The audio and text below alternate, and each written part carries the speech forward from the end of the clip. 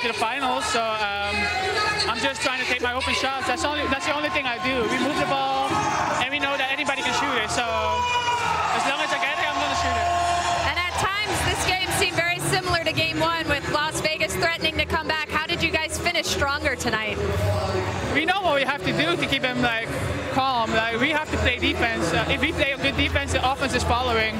So I think that's our major key that we have to keep in mind for the next game.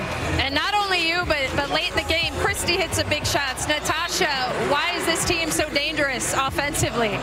Um, we're very versatile. Um, like I said, everybody can shoot three. Um, even Toya, even if she doesn't want to. Um, I mean, we, we're big. We have every single thing that we need to win a game. And you told me the other day when you were originally drafted, you were planning to just come for training camp so you can miss exams, and then you were going to go back to Belgium. Are you happy you stayed? Think coaches too. Thank you so much, Emma.